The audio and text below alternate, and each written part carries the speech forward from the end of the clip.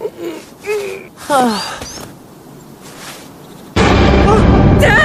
Your head! Dad!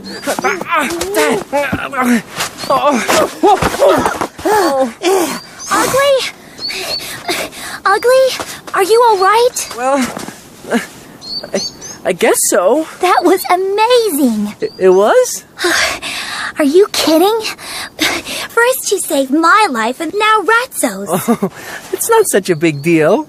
I just. uh, You heard him. No big deal. Listen, Jeff, if that even is your real name, if your wing is really broken, which it isn't, then how did you get across the river?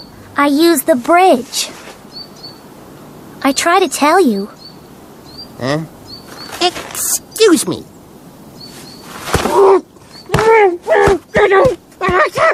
Ah.